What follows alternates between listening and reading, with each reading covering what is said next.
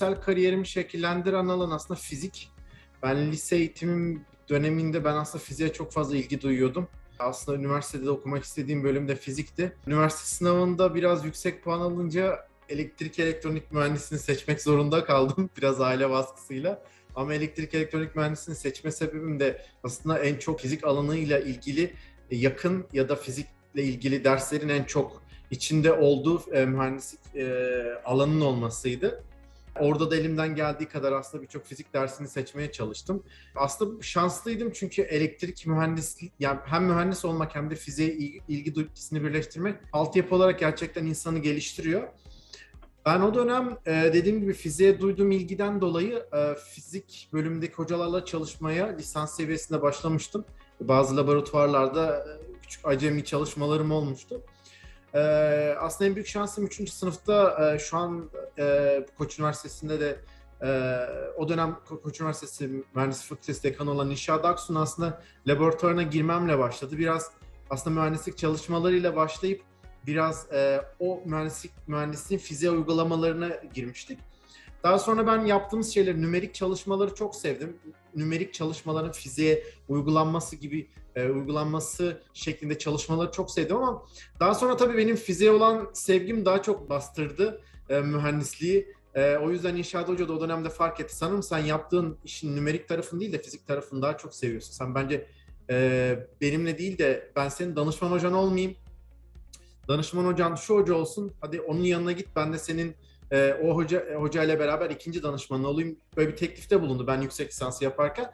Bir anda kendimi böyle gerçekten fizik bölümünde çalışan Özgür Müstecaplıoğlu ile buldum ve gerçekten onunla fizik çalışmaya başladık.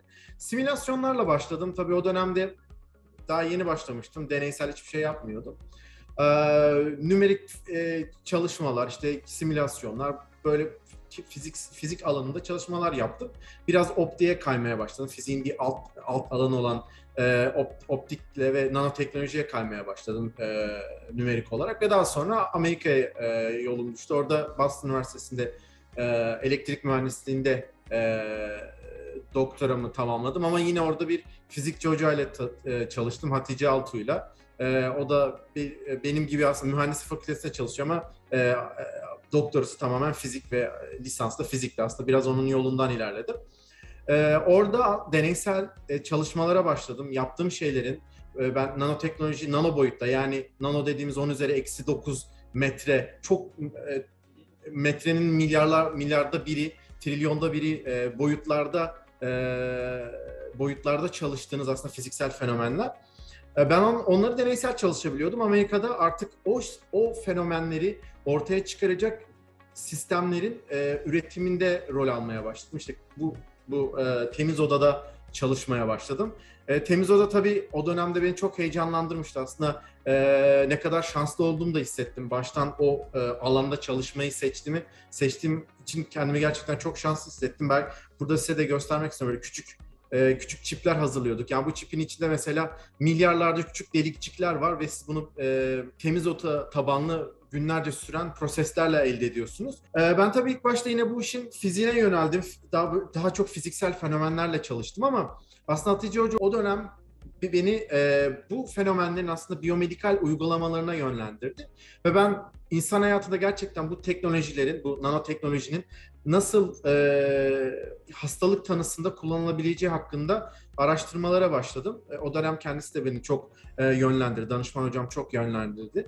Ve aslında ilk başta bu sistemlerin e, virüs ve bakteri gibi patojenleri nasıl e, tespit edebileceğini ve bu patojenler nedeniyle oluşan hastalıkların teşhisi nasıl yapılabileceği ile ilgili çalışmalara yönlendirdi, yönlendirdi bu dönemki e, çalışmalarım.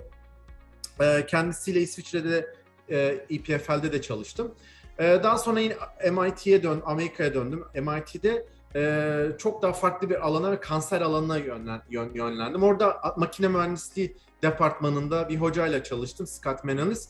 Ee, ama makine tamamen grup makine mühendisleriyle biyologlardan oluşan ama e, bütün hedef e, kanseri anlamaya ve kanserle ilgili e, kanserle ilgili geliştirilmiş ilaçların etkilerini araştıran, hücrelerin biyofiziksel özelliklerini araştıran e, bir gruptu. Yani yine orada dediğim gibi mühendis olarak girdim ama kendimi bir anda biyologların arasında buldum. Biyoloji temel biyoloji çalışan, tıpın farklı e, temel alanlarında çalışan hocalarla çalışırken buldum. Dediğim gibi hep e, fizik ya da elektrik iş, elektrik alanında çalışırken hep onun biyomedikal uygulamalarıyla devam ettim. Bu şekilde kariyerim yönlendi.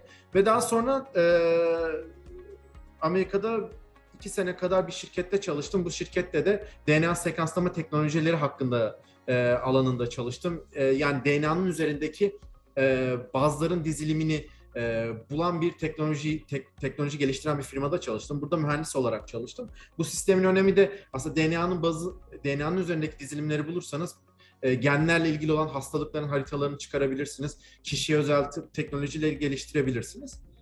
Bu şirketten sonra Türkiye'ye döndüm. 2018 yılında İzmir Biyotik ve Genom Merkezi'nde Türkiye'de başlayan Amerika'da geliştirdiğim altyapımı yani fizik ve elektrik üzerine e, biyomedikal uygulamaları altyapısını Türkiye'de döndüğümde işte e, bir gerçekten e, tıp ticari uygulamalarını yani e, medikal cihazlar teknolojileri altında e, uygulamaları ya Türkiye'de uygulamalarını e, yapmaya çalışıyorum.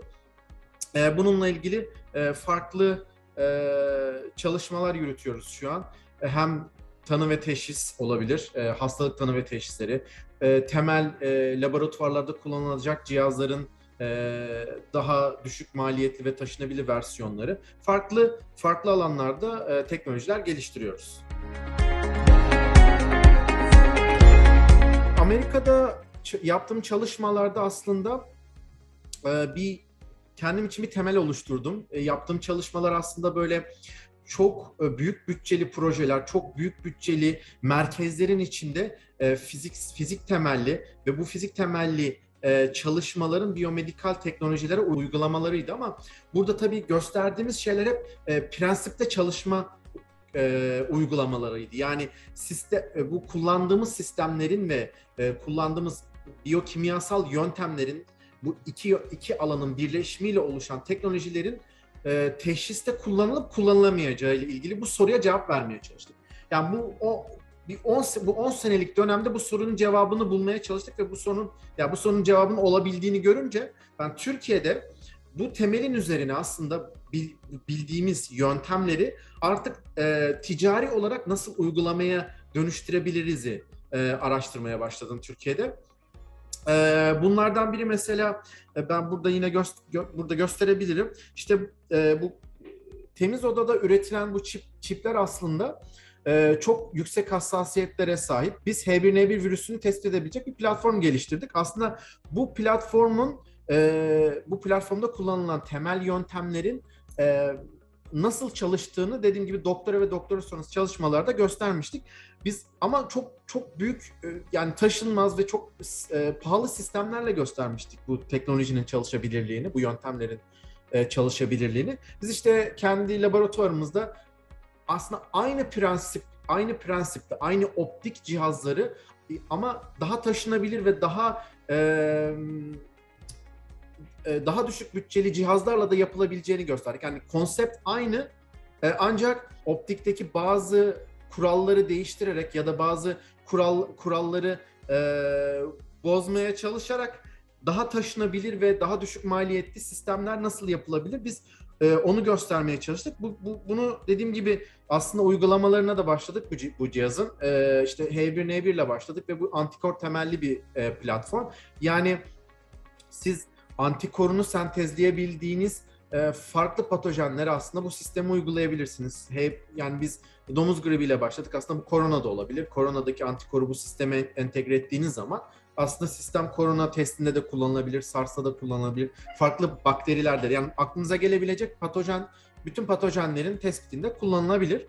Ee, ben ben dediğim gibi işte nanoteknolojide çalıştım, optikte çalıştım. Ya yani optikte mesela e, biz hep pahalı böyle mikroskoplar kullanırız. İşte bir şeyleri araştırmak isterseniz işte nano boyutta, mikro mikron boyutta e, ya da biyolojide bir test yaptığınız zaman hep o aslında mikro boyutu mikroskopla görmeniz gerekiyor. İşte bunun içinde tabii pahalı e, mikroskoplar, ona entegre edilmiş pahalı e, kameralar kullanmalısınız ki o e, mikro dünyanın fotoğrafını çekip o görüntü datasından anlamlı veriler çıkarırsınız. E tabii yani bu işte dediğim gibi o dönemde ben e, taşınabilir ve düşük maliyetli sistemleri nasıl e, ortaya çıkarabiliriz ararken aslında ben e, şöyle bir sistem daha göstermek istiyorum. Bu da yine bizim Türkiye'de geliştirdiğimiz bir cihaz.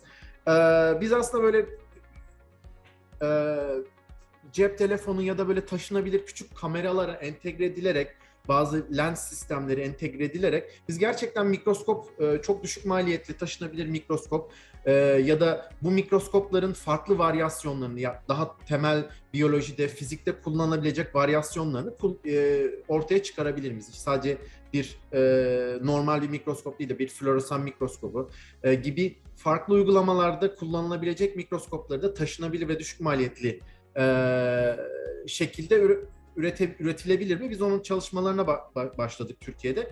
Dediğim gibi aslında işte e, Türkiye dönmeden önce elde ettiğim o e, temel eğitim, temel eğitimi, aslında bir kısmında tabii Türkiye'de elde ettim o temel eğitimi. E, tekrar Türkiye'ye döndüğümde gerçekten ülkemizde böyle katma değere e, dönüştürebilecek ya da insan sağlığını, insan hayat kalitesini arttırabilecek cihazlara e, çevirebilir miyiz? Aslında onun araştırmasını yapıyoruz. Son dönemde de aslında e, ülkemizde de bunu ticarileştirmeye e, içinde belirli adımlar da atmaya başladık. E, yani bu dönemde yaptığımız çalışmalara aslında devletimizin de gösterdiği ilgiyle bazı adımlar atmaya başladık. E, farklı ticari oluşumlarla, işte sanayi, üniversite işbirlikleriyle bu cihazları umarım yakın bir zamanda ülkemizin hem katma değerine hem de sağlık sektöründe e, insanların e, hayat kalitelerini yükseltecek e, cihazlara dönüştürmeye çalışacağız. Laboratuvarımızda biyomedikal teknolojiler geliştiriyoruz. 2009 yıllarında bir pandemiye dönüşen e, domuz gribinin tespitinde kullandık. E, bu tarz taşınabilir ve düşük maliyetli e, sistemler aslında şu şekilde önemli. E, bir testi ne kadar maliyetini düşürürseniz, o testi ne kadar ulaşılabilir yaparsanız, e, ulaşabilir, derken sadece hastane ya da bir laboratuvar ortamı değil, pandemi gibi önemli sağlık problemlerinde pandeminin çıkabileceği noktalara taşıyabilirsiniz siz bu testleri. Aslında pandemiler başlamadan küçük noktalarda lokalize edip aslında başlamadan bu bu salgını bitirebilirsiniz. Biz aslında e, ilk hedefimiz işte e, bu tarz salgınların önlenebileceği ama bu, bu tarz salgınları önlerken yüksek maliyetli değil de yani çok daha e, herkesin erişe, erişebileceği, devletlerin e, sağlık politikalarında büyük maliyetler ortaya çıkarmayacak e, teknolojileri geliştirerek halk sağlığını ve tabii e, birey bireylerin e, hayat kalitelerini bu şekilde arttırmaya katkıda bulunmak istiyoruz. E, yani en büyük etki bu aslında. E, ikinci etki geliştirdiğimiz teknolojiler aslında dediğim gibi biz biraz, e, biraz önce söylediğim gibi e, temel araştırmalarda da kullanılabilir. Biyoloji, kimya, e, tıp alanlarında kullanılabilir. Ama e, bu, bu alanlarda kullanılan cihazlar gerçekten çok yüksek maliyetli. Tabii bir de e, yurt dışından aldığınız zaman bu maliyetler e, bir de ekonomiye de e, ekonomiye de zarar veriyor. Siz sonuçta bir teknoloji geliştirmek için başka bir teknolojiye bağlı kalıyorsunuz. Aslında sizin geliştirdiğiniz teknoloji başka bir ülkenin e, geliştirdiği teknolojiye dolayısıyla o ülkeye bağlı olmuş oluyor. E, biz işte o yüzden temel tıp alanların temel e, temel alanlarda e, bu mühendislik de olabilir, e, beşeri bilimler de olabilir. Kullanılan cihazları aslında e, herkesin herkesin e, yani maliyetlerini düşürüp herkesin kullanabil, kullanabileceği hale getirmeye çalışıyoruz. İşte biraz önce gösterdiğim o e, mikroskop örneği e, yani siz bunun maliyetini ne kadar düşürürseniz böyle bir optik e, aparatın maliyetini ne kadar düşürürseniz e, çok e, baş başlangıç seviyelerinden bile mesela ortaokul lise seviyesinden itibaren öğrenciler aslında bu tarz e, cihazları, teknolojik cihazları kullanmaya başlar ve kendilerini bu tarz e, teknolojilere adapte etmeye başlayabilir. Yani siz o dönemden itibaren çocuklara bilimi sevdirebilirsiniz. E, yani toplumsal etki sadece üniversitelerde doktora da ya da doktora sonrası yapılmış o araştırmalar değil, en baştan itibaren aslında çocuklara teknolojinin maliyetini düşürerek onların o yaşlarda bile teknolojiyle karşılaşmasına imkan verirseniz aslında e, toplumun aslında bilgi seviyesi ve e, bilgi seviyesiyle beraber e, bilime olan sevgisi de artacak. Ve ortaokul seviyesinden itibaren bu kadar bilimin içinden gelen öğrencilerle çalışmak üniversitelerin kalitesini de arttıracak. E, ben şimdi mesela birçok ortaokulda, lisede görüyorum robotik yarışmaları, e, işte farklı kodlama yarışmaları aslında o dönemden itibaren çocuklar matematik, fizik ve mühendislik temel temel bilimlerinde aslında çok fazla şeyle e, karşılaşıp e, bilgi dağarcıklarını inanılmaz geliştiriyorlar. Bu da tabii bizim bizim için çok önemli. Yani o çocuklar 15 yaşında, 10 yaşında bu işe başladıklarında ve e, 7-8 sene boyunca belki bu tarz e, projelerle, projelerin içinde çalıştıklarında e, üniversitelere geldikleri zaman lisans seviyesinde dahi çok önemli projelerde yer alabilecekler. E, ben yani kendi çocukluğumdan itibaren yani çocukluğumu hatırlıyorum. Şu anki aslında birçok şeyden ben mahrumdum çünkü şu an kod yani kodlama, bilgisayar, robotik yarışmaları yani şu an gerçekten şu anki neslin ulaşabileceği teknolojiler e, sınırsız. Biz de o yüzden hani e, sonuçta teknoloji de pahalı bir şey. E, yani sonuçta 30 kişilik bir sınıfın her birinin önüne bir mikroskop koymak e, mantıklı değil. Yani bu dünyanın hiçbir yerinde yapılabilecek bir bir şey değil. E, ma, ma, çok çok maliyetli bir şey. O yüzden biz ne kadar e, ben ya benim benim temel amacım teknolojiyi ne kadar insanların e, erişebileceği, ekonomik anlamda erişebileceği hale getirirsek biz aslında gelecek nesillerde de çok daha donanımlı e, bir genç e, kitlesi yaratacağız. E, bu da sonuçta ben şu an veriyorum çocuklara ama sonuçta ileride benim laboratuvarıma çok daha donanımlı öğrenciler gelecek. Belki yurt dışına çok daha donanım, donanımlı öğrenciler gidecek. Sonra onlar donanımlarını çok daha fazla arttırıp ülkemize dönecekler. E, yani bizim dediğim gibi temel prensibimiz e, hem hem ülkemize katma değer sağlayacak, e, ya ekonomik anlamda katma değer sağlayacak, hem ülkemizin dışa bağımlılığını bazı konularda e, dışa bağımlılığını e, engelleyecek hem de e, mümkünse ihracatı yapılarak e, ülkeye bir katma değer sağlayacak. Bunun yanı sıra işte toplumun e, hem sağlığı hem de yaşam kalitesini arttıracak ve e, şu an genç neslin teknolojiyle maksimum seviyede e, buluşmasını sağlayacak e, çalışmalar e, yapmaya çalışıyoruz. Çok fazla lisans öğrencisiyle çalışıyorum. Belki birçok e, akademisyen arkadaşım e, belki bu kadar lisans öğrencisiyle çalışmıyordur. E, laboratuvarda çalışan öğrencilerimin yaş ortalamaları 20-21. E, bazen lise öğrencileri bile mail atıyor. Onlara da onlarla da konuşuyorum. Bazen onlara da yardımcı oluyorum. E, yani biraz önce dediğim gibi lise öğrencileri de artık e, teknolojiyle çok çok iç, iç içeler. E, sadece kodlama ya da mühendislik değil, gerçekten temel biyoloji, kimyada da çok farklı projelerde çalışıyorlar öğrenciler. E, ben öğrencilerim aslında ilk geldikleri zaman e, genelde laboratuvarda bir çekinme çekiniyorlar. E, yani bir anda çünkü kalem kağıttan ya da bilgisayardan bir anda ellerinde böyle fiziksel e, aparatlar, fiziksel cihazlar, bazen o cihazlar çok pahalı olabiliyor. Yani bazen korkarak yaklaşıyorlar. E, yani ilk önce e, eğer içlerinde e, merak varsa o merak körüklesinler. Ama o merak körüklerken hani o korkuyu atsınlar iç, içerlerinden. Yani şey gibi değil yani laboratuvarda çalışacağım ama ya şimdi ben bunu merak ediyorum, bunu yapmak istiyorum ama şimdi ya yapamazsam ne olur? Ben kendi öğrencilerimde bunu çok görüyordum. Yani hocam ben bunu yapayım ama ne zamana yapayım? Ne zamana yetiştirmeliyim? Yani bunu hep bir şey gibi görüyorlar. Bu bir iş gibi. Hayır bu aslında bilim bir iş değil. Bilim bir merak. Yani aslında hani sevmeden de yapılabilecek bir şey değil. Evet ticari belki ticari bir kuruluşta çalışsanız bu kadar e, özgürlüğünüz olmayabilir, farklı kaygılar olabilir. Ee, ama yani bilim yap, bilim yapan gençler bence kesinlikle meraklarını korkularıyla bastırmasınlar. Ee, ya tabii burada da bize e, iş düşüyor. Ee, yani bizim bilim insanları olarak sorumluluğumuz, bir sorumluluğumuz da hani nasıl hani şu an ben benim çalıştığım kurum benim önümü açıyorsa bir laboratuvar vererek ben de o laboratuvarı öğrenciler açarak onların önünü açıp onları cesaretlendirmeliyim. Gençler hangi e, bir hangi alanla ilgileri duyuyorsa kesinlikle e, onun hakkında okumalılar.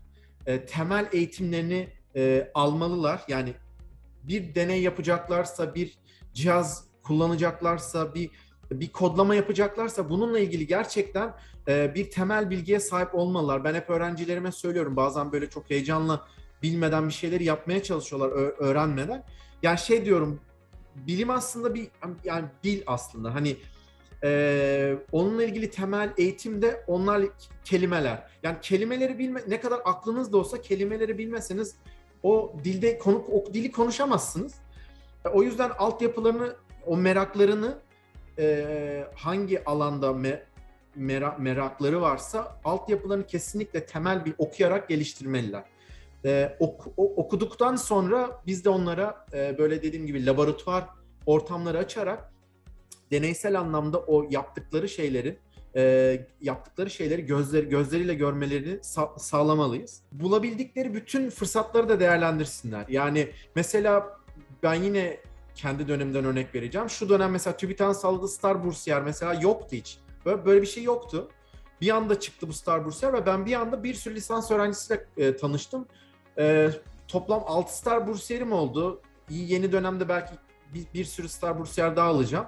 Yani öğrenciler kesinlikle bu tarz fırsatları da e, değerlendirsinler. Yani benim dönemimde yani e, 15 sene içinde e, gençlerin önüne çıkan fırsatlar, bilimsel çalışmalarda bulunma fırsatları da e, çok fazla arttı.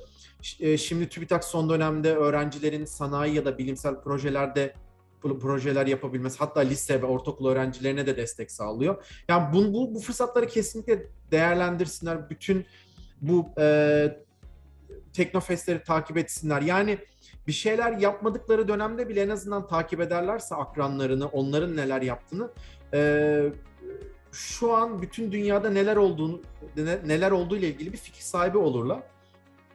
E, ben kendi gençliğimde yani kendi çocukluğumdan itibaren merakım vardı ama merakımı fiziksel aktiviteye e, dönüştürebileceğim olanaklar bu kadar değildi. Daha sınırlıydı.